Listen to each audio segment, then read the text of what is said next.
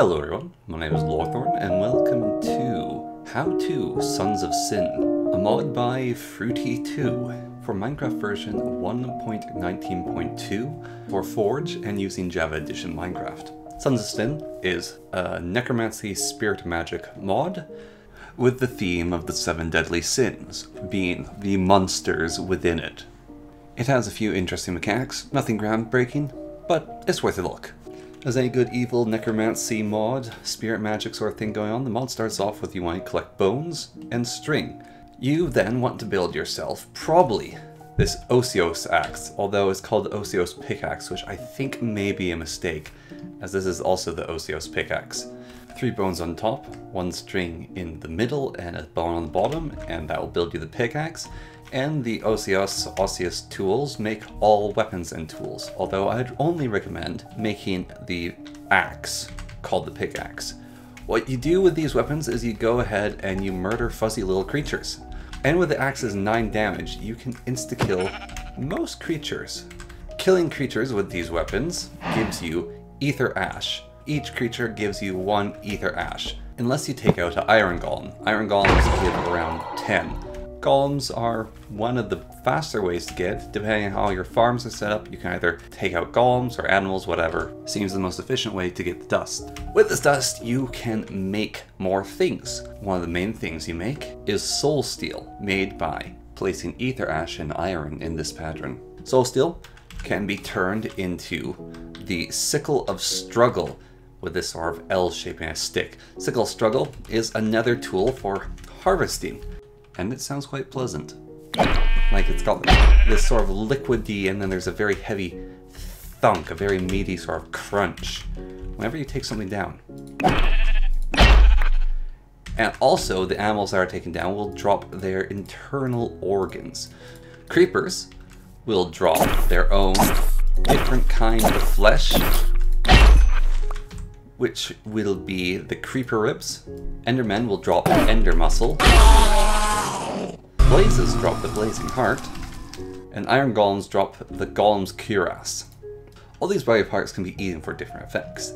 The basic body part that you get from most creatures that aren't listed on the special will give you a lure, which makes monsters attack you rather than your friends, so you can trigger kiting. Creeper words make it so upon your death you should explode. Ender Muscle gives you instincts, which whenever you take instances of damage, you have a chance of teleporting away from that damaging situation. The Golem's Cuirass, however, cannot be eaten unlike the other body parts, but has other uses later on. Finally, the Blazing Heart makes it so you emit steam every once in a while.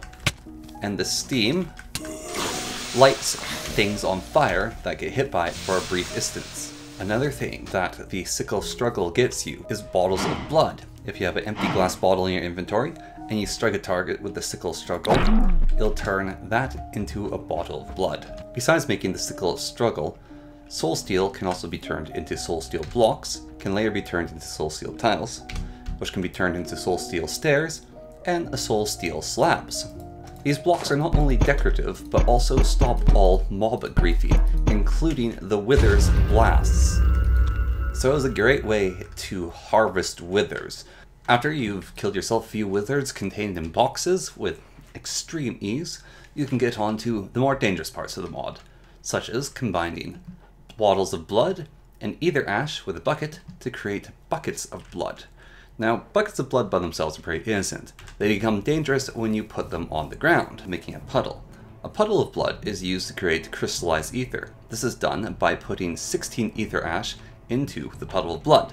So 64 should give me 4 crystallized ether. It also screams at you. This is used for further recipes in the mod. Now the real danger comes if you accidentally fall into the puddle of blood. In creative mode, it's not going to do anything. However, in non-creative mode, spending too much time in the puddle will kill you. It also summons one of the Sons of Sin, which the mod is named after. Now you may notice that the Son of Sin has a really annoying effect and is instantly killing me. In my estimate, they're a little overpowered. As you can see, this fine fella here is sporting 840 health and hits like a train. They also have the ability to destroy blocks so they can walk through your shelters and attack you. So you can't really shelter in place from them. They also will destroy your spawn, which is an excessively annoying habit they have. However, they can't break through the soul steel blocks, which makes it a very handy shield against them trying against you. So, I'd recommend surrendering your bedroom in this and all your valuables. Another interesting feature about soul steel is it can be manipulated, unlike obsidian, with pistons. Besides the soul steel blocks, there is also soul steel armor to protect you from the sons. We've got the remnant helmet, the remnant chest piece requiring that crystallized ether, the remnant leggings, and the remnant boots. This sort of gives you that dapper looking outfit you saw at the beginning of the showcase. Now supposedly this armor makes your survival a lot better, but it does need powering with this urn, made with bricks and ether dust in the middle, and then you fill up the urn by right clicking and then putting the ether ash into it, and this will give it a little green symbol. This will power your armor. Now against basic enemies, this armor is kind of rubbish. It's not the most amazing, but it's not terrible. It's plus 5 armor. It's, I think, equivalent to diamond. However, against the Sins, it definitely does save your life at the cost of the Ash. It also makes an awful racket, and it only helps a little bit, and their damage, effects, HP pool is just still too overwhelming. But it's better than nothing. Now something else this urn charges is the Ether Sword made with two ether crystals and a soul steel at the bottom. The ether sword heals you a small amount of health every time you hit enemies, and also uses up some of the ether in your urn to power it. So basically, harvest monsters and then you have a life-stealing sword. Crystallized Ether gives us a fairly powerful sword. It can also give us a fairly powerful tool in the shape-shifting tool. This is made with soul steel and crystallized ether in the shape of a normal pickaxe. This tool's nature is every time you dig with it, it'll turn into the most appropriate tool for the job. Its durability is also based on the amount of ash you have, which means it actually goes through its durability fairly fast. But its durability can be refilled by whacking monsters. It has three different forms, axe mode, shovel mode, and pick mode, and seems to have a fairly decent speed. The necromancing you can do within this mod is done with the leftover carcasses. If you take the ribs and make them into a pattern like a chest, you can create a flesh carcass. The flesh carcass has to be filled up with all sorts of body part, blood, and ether ash. That being the flesh demise, the ribs, the heart, the muscle, and all that good stuff. But it can also be filled up with the special body bits, being the creeper ribs, the Ender Muscles, Blazing Heart, and the Golem's Cuirass, making it stronger and thus enhancing your undead little minion. To make it actually come into the world, right-clicking on the ground doesn't work. You have to throw it into a puddle of blood. And this will summon your friend. He will become friends with the first creature he sees. So if your buddy's nearby while you're playing and trying to summon your undead doggo monster, then they will become his friend first. It can be fed bits of flesh to heal it, and you can make him sit so he doesn't run about ruining everything. You can also make just about as many as the cute buggers as you like, if you have the resources for it. Now on to the final part of the mod, the Sons of Sin. Each one is very powerful, each representing the different sins, you know, gluttony, lust, wrath, all that. However, they seem to only appear if you go as a human sacrifice, or Steve sacrifice, into a pool of blood destroying the pool of blood and creating one of the seven. So, you could put a pool of blood in your friend's base, then jump into it, griefing him, summoning an ultra powerful monster, or if you want to summon one of them and trap it in sort of cage like this, hoping that it's the bed, you can go ahead and throw yourself into the old puddle. Supposedly there is a chance of the Sons of Sin getting summoned when you're throwing the Ether Ash into the blood puddle, performing the blood rituals, performing the dark necromantic magic. I have not encountered this once yet in all my testing. And I set up some macros to test this. Didn't work.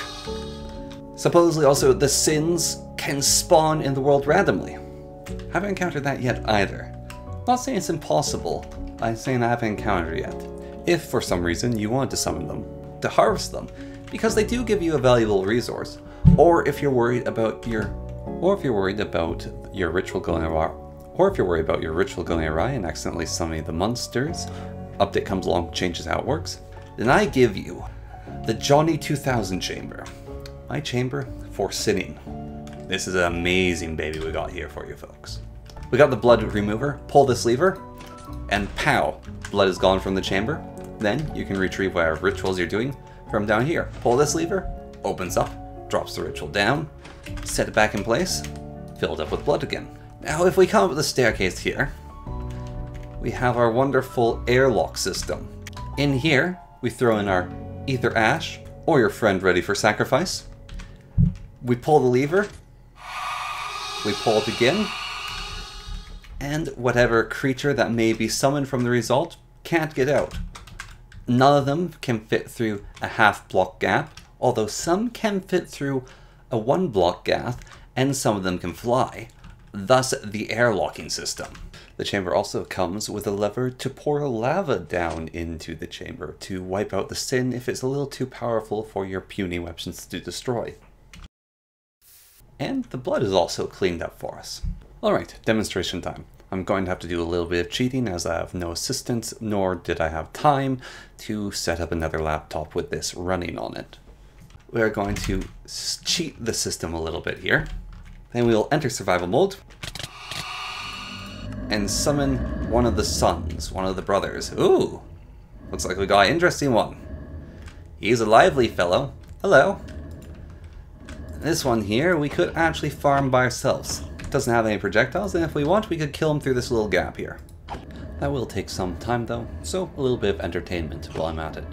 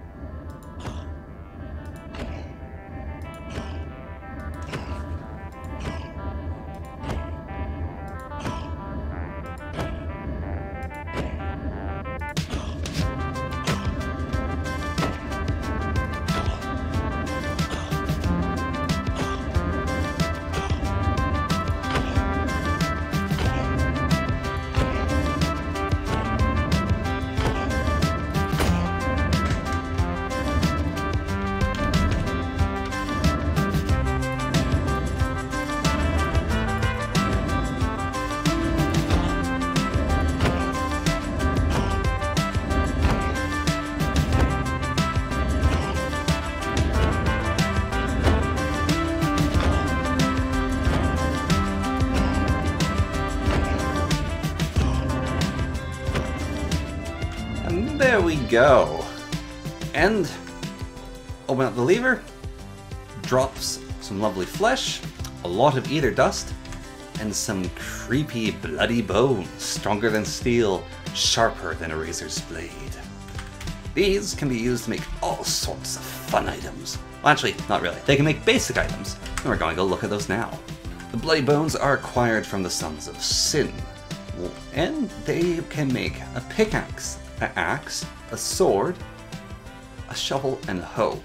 And they are indestructible. So, they have no durability, they just work as the tool. Sort of what it says on the tin, if you would. The hoe hoes, the shovel digs, pickaxe mines, the axe chops, and the sword swings. But for how hard?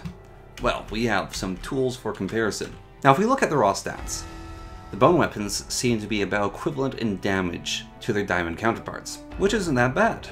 Diamond axe, if it's indestructible, that's pretty good. Diamond sword, indestructible, that's pretty good. Pickaxe deals a little less damage. Stats are looking pretty good on them so far.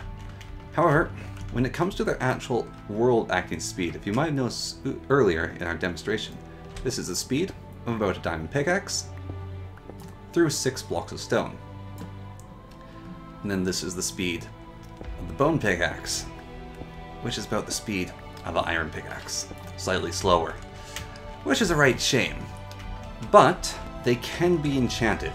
An enchanted indestructible item is actually a game changer. If you can take down the Sons of Sins and gather enough resources to get one of their powerful tools, you can get some very deadly weapons. Sharpness 5 on this sword, whew, it's dealing damage. Efficiency 5 on this pickaxe, it's actually quite fast, and it's not running out of durability. Slap some more enchantments on that, you know, Silk Touch maybe, or you're feeling lucky, put that on there, that sort of idea. you can get a very, very good item through that enchantment, albeit through fighting a rather strong enemy. But remember with that Chamber of Sinning, it's not going to be nearly as strong. So, let's look at all the sins then, shall we? First we have Wistiver. This represents gluttony. He has 750 HP. He can fly. He hits very hard. Every time he kills you, he becomes stronger. Amps up way too fast. Seems to be doing alright for now. And the dogs are actually... Nope, he's killed me again. Okay. The armor actually seems fairly decent defense against... Oh, he took me out again. Alright, that's another death down. There we go. Okay. So we beat him in a fair fight. After him is the Walking Bed, representation of Sloth. We know all about this guy. A lot of health. Very, very tanky. However, you will notice that the Sinful Sword does bonus damage against the Deadly Sins. Does about 60 damage per hit, which is pretty upgraded. After him is Blub. Blub represents greed, and he has the most annoying effect in combat ever which is he sends you below ground to drown in the dirt. After Blub, we have the Prowler. Prowler represents pride. His speed is his main thing. So he crawls along the ground, which is kind of ironic, as like crawling your belly is not very prideful. He is kind of stupid fast. He can also climb walls like a spider. Their AI isn't the most brilliant. I will say that. Get down here. That may be a mistake. After the Prowler, we have Kelvin, which is a kind of weird name for a sinful entity spawned of the seven deadly sins, but he represents envy. Jealous of his friends, he's made cybernetic prosthetics, but they only slow him down, and compared to his brothers now. And it says slows him down in the description. Their speed is just absurd. The only reason I'm standing a chance is I'm using these sinful weapons. After Kelvin, the Envious, we have Butcher, the Wrathful. He's got a split head and also a prosthetic arm, so I'm not even certain how the other guy with prosthetics is unique. Okay, no, he's very fast as well. He is faster than Kelvin. Kelvin's slow, yes, compared to them. Jesus. Ah. Finally, we have the most annoying of the lot, in my opinion. Second most annoying. Blub's the most annoying we have Curse, which represents a lust. And he has his own effect he applies, which is he very slowly drifts. And he sucks you to him and strips you of your armor. And that makes him also the worst. He can also fit through small places, so I, I really don't like Curse. Take that. There we go.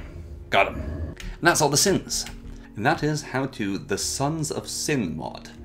Wounds of Chaos, subtext. The Sons are ridiculously OP, however there does appear to be ways to deal with them. This armor, Remnant's armor, is kind of rubbish. Maybe if you notch apples, golden apples helping you out, maybe some friends to help you take them down as well, trying to, trying to contain them with soul steel blocks, that would work. Normal play, Sin Chamber, I think is also a good idea, mild Johnny Chamber, I think that's brilliant does require you to sacrifice the life of a player to get it done, so if experience is precious to you, it's going to make it a little bit more different. Cult, I'd recommend spending all your XP for jumping into that blood pool. Can't really do that in creative mode. Some people in the comments I did read have complained about these guys spawning in their hardcore runs without them being in blood pools. I haven't encountered them spawning in the world at all. Maybe I haven't gone to the right location yet. That could be on me. If so, I apologize for that, and you're right, hooped, because they're way too fast and way too powerful, even if you have a weapon designed to kill them in the Sword of Sin. The gear is interesting, I really like the dog, I think the dog is the best bit of it. The Remnant Sword, the Remnant Armor look cool, Soul Mechanic Gathering is also cool. Other mods do it, different ideas, is definitely a different take. Now, in the comments, the mod maker said he was doing a massive overhaul around Halloween, which is when I record this. It was last updated on the 27th of October 2023. And that is the day of recording is the 29th of that day. So if it's updated since then and all this information is absolutely useless to you, I do apologize. But still makes it interesting watch, and if you're playing with an older version and perhaps an older mod pack, or you want to play with the older version, then you can use this guide to continually help you out with it. I would recommend if you're changing things, perhaps make the Rena's armor protect you a little bit more so you can win a fight. Maybe make it so they don't blast purely through shields or give a remnant shield of some sort just to help in the fight against them and reduce their HP because, well, the Sinful Sword does deal a lot of damage to them, which is fair, I'll grant you that. You have to kill one of them in the first place to get the Sinful Sword, and these things are absolutely brutal to kill, and if you don't want to cheese the game to kill them, which is what I did, either you have to have a lot of OP mods installed, or have a lot of friends, or be doing something insane, which might as well be cheesing. It's the same approach that I do. Everything else in the mod though, super cool, I actually like it. The design of the Sin, pretty interesting. Um, it's not my favorite, but it's not the worst in the world. I have very hefty opinions on what the Seven Deadly Sins should look like. That's just my own bias. I still think they're cool looking models, like especially like the bed. Just look at him. He, he's a walking bed. Is That's just a fun design. That's a good design for Sloth. Definitely top tier design. I really like him. If you like this video, well, happy for that. Recommend another mod you want how to, and I'll catch you in the next showcase slash how to. And hopefully this won't be a garbled mess in the end. Alright, thank you very much for watching, and until next time, goodbye.